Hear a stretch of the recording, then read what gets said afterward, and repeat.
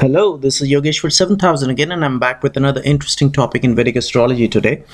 And today we'll be talking about the dangerous aspect of the planet Mars. okay, and uh, today's discussion is once again just to remind you that it is coming directly from the ancient scriptures and it is not uh, any kind of a figment of imagination of any modern day astrologer okay so uh, the reason why I'm making this video today on Mars is pretty simple. Mars is an extremely extremely malefic planet. That's one.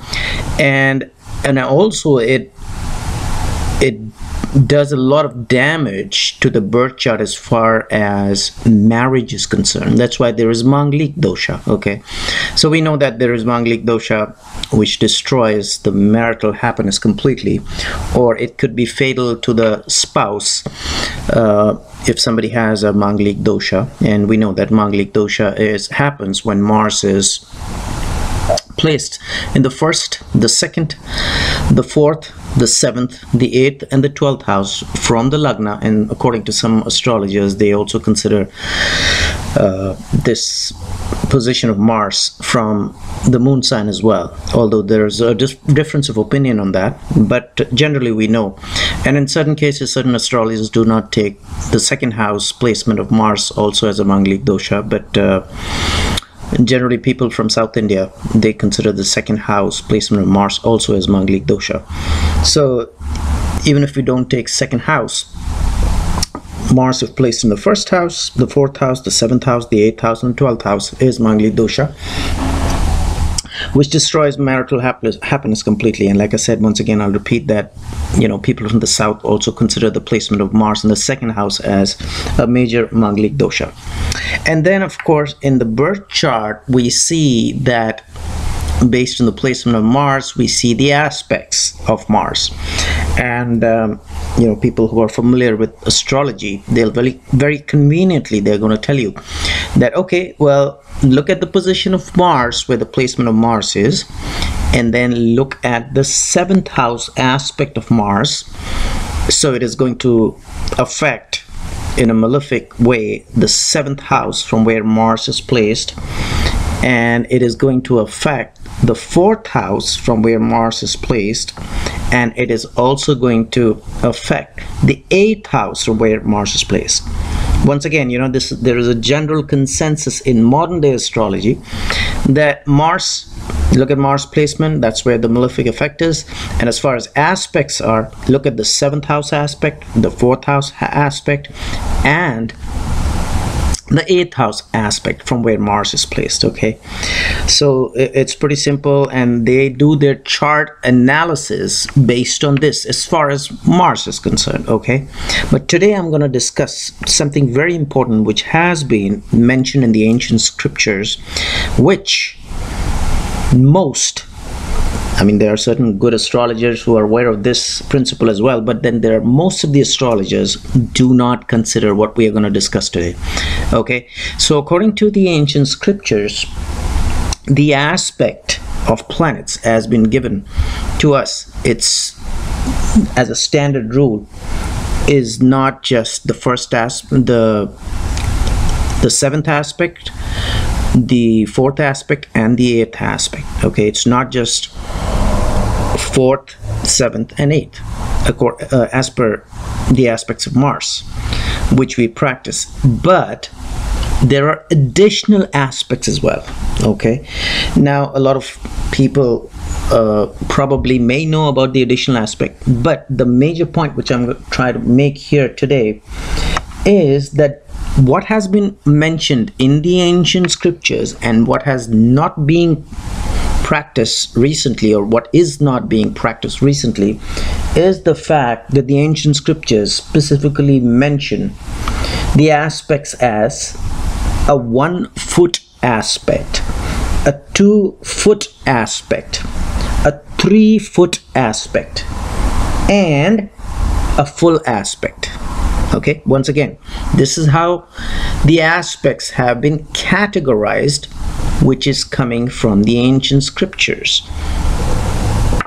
A one foot aspect a two foot aspect a three foot aspect and a full aspect.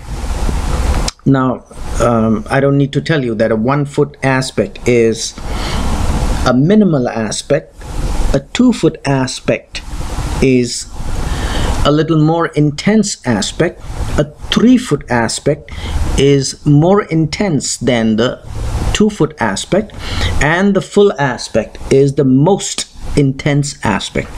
And by the way we're just discussing about the planet Mars and we can address other planets in our forthcoming videos. So based on this categorization the aspects are one foot aspect which is the lightest aspect two foot aspect which is a little more intense than the one foot aspect. The three foot aspect is a little more intense than the two foot aspect and the full aspect is the most intense aspect okay? And in Sanskrit language it has been mentioned in the ancient scriptures as one foot aspect is called ek charana. It's called charan in Sanskrit. So one charan aspect two charan aspect three charan aspect and a purna that's a Sanskrit word which is a full aspect okay? Purna aspect is a full aspect. So as far as the planet Mars is concerned it has been very very very very clearly mentioned in the ancient scriptures. And this is coming from authentic ancient scriptures that Mars aspects the seventh house with one foot okay? Mars aspects the fourth and eighth houses from where it is placed with a complete complete or a full aspect okay? So what mistake we were making is that although we were considering the aspect of Mars to the fourth house from where it is placed as a full aspect is absolutely correct. We are also considering the eighth house aspect of Mars from where it is placed as a full aspect which is also correct but what mistake we are making here is that we are considering the seventh house aspect of Mars as a full aspect. In general terms, what we see day-to-day -day astrologers practicing. Mars seventh house aspect is not a full aspect. It is an extremely, extremely light aspect. So when you do a chart analysis, please, please do not consider Mars aspecting the seventh house from where it is placed as a full aspect. Consider it as the least intense aspect. So that's point number one. Point number two which also a lot of astrologers are making a mistake is that there is an additional aspect of mars which is the aspect of the third house and the 10th house from where mars is placed okay and that is a two foot aspect so try to understand this very clearly the seventh house aspect is not a full aspect, it's the lightest aspect and is just a one, one foot aspect. But on the contrary, and two aspects which we are ignoring are the third house aspect from where Mars is placed and the 10th house aspect from where Mars is placed as a two charan or two foot aspect which is more intense than the one foot aspect of Mars aspecting the seventh house where it is placed. Okay? First the mistake which many astrologers modern day astrologers are making that they are considering the seventh house aspect of mars as a full aspect. That is not true. Second they are not even considering the third house aspect and the 10th house aspect from where mars is placed which is stronger than the seventh house aspect. Okay? So when you do a chart analysis please take this into consideration. Now the third point. The third point is that Mars also has another two aspects and those two aspects are when Mars aspects the fifth house and the ninth house from where it is placed. And you'll be surprised that that is a three foot aspect okay? So we're not even considering modern day astrology we're not even considering mars aspecting the fifth house and the ninth house from where it is placed. Although it is stronger than the seventh house aspect and it is stronger than the third and the tenth house aspect.